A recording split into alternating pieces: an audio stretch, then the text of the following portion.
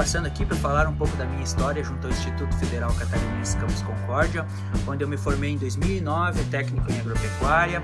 A partir daí, segui estudando, me aperfeiçoando. Hoje sou engenheiro agrônomo, trabalho como representante comercial na AgroS Sementes.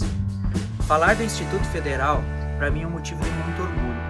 Aí, durante três anos, conheci grandes amigos, grandes mestres, que até hoje servem de inspiração e motivação para o meu dia a dia como profissional e como ser humano.